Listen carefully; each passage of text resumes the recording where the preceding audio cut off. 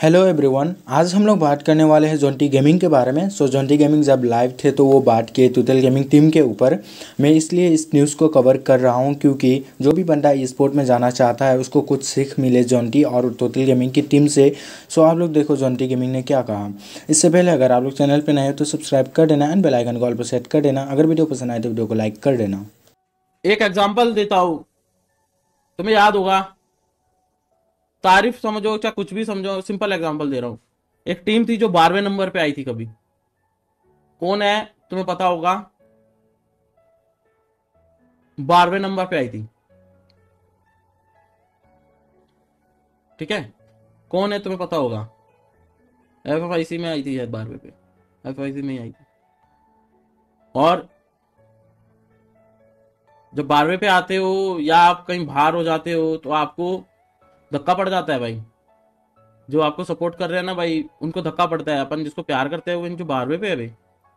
फिर वो बारहवें वाला उस उस सैल्यूट दे रहा हूँ उसको। चाहे मेरा उसका बनता हो, चाहे ना बनता हो। ठीक है? मेरी उसकी बनती है, चाहे नहीं बनती है। मैं उससे बात करता हूँ, नहीं करता हूँ। ई स्पोर्ट में उसका टीम बेस्ट है। ई स्पोर्ट में उसका टीम बेस्ट है भाई। क्यों बेस्ट है? जब वो बारहवें पे था ना, उसके बाद वो खेला प्रैक्टिस किया प्लेयर चेंज किया, चाहे कहीं से भी प्लेयर उठाया, ज़बरदस्ती नहीं उठाते। मेरे को अगर आज बोलती है इग्नाइट की टीम की जोटी भाई इलीट छोड़ रहे हो तो हमारी टीम को मैं आऊँगा। मैं अपनी राज़ी मंदी से आऊँगा। मेरा मन है आने का तो मैं आऊँगा। तो जब उन्होंने प्लेयर लिए उन्होंने प्लेयर लिए। तो उन्होंने कभी ज़बरदस्ती नहीं करी कि भाई, ये, वो, ऐसा फलाना निकाना। उन्होंने वो बारह नंबर से प्रैक्टिस किया, चालू किया। हर टूर्नामेंट को सीरियस खेला। हर टूर्नामेंट को सीरियस खेला।